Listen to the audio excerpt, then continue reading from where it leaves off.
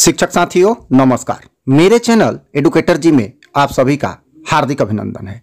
इस वीडियो में बात करेंगे ऐसे से मत से किन जिलों में अक्टूबर माह का वेतन भुगतान हो चुका है, किन जिलों में आज होगा, तथा वैसे ज़िले जिनमें कल वेतन भुगतान होने की पूर्णतः संभावनाएँ हैं।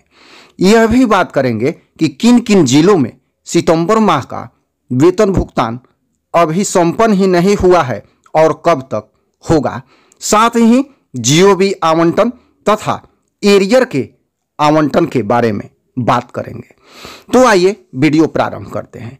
इससे पहले आपसे एक छोटा सा रिक्वेस्ट है, यदि चैनल सब्सक्राइब नहीं किया है तो मेरे चैनल को सब्सक्राइब कर दें।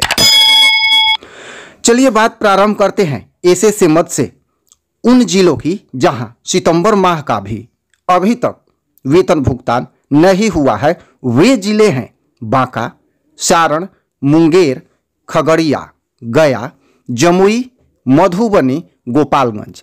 तो ऐसी सूचना है कि इन जिलों में कुछ स्थानों पर आंशिक भुगतान हुआ भी है और बहुत ही जल्द इन सभी जिलों का वेतन भुगतान संपन्न हो जाएगा।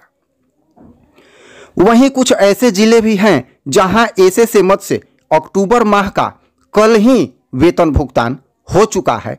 ये ज़िले हैं कटिहार, भागलपुर, पश्चिम चंपारण, समस्तीपुर, छपरा। कुछ जिलों में आज भी देर शाम तक वेतन भुगतान होने की बात कही जा रही है, जैसे मुजफ्फरपुर में तथा पूर्णिया में।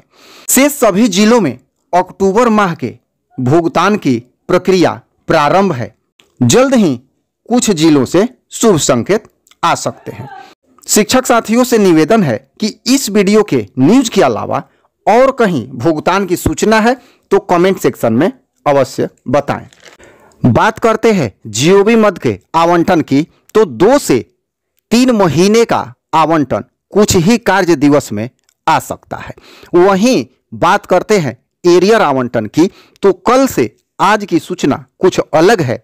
एरियर आवंटन 22 नवंबर के आसपास आने की उम्मीद है। तो आज के वीडियो में इतना ही अपडेट है। आगे जो भी सूचना होगी अन्य जिलों से संबंधित आप तक पहुँचाया जाएगा। धन्यवाद।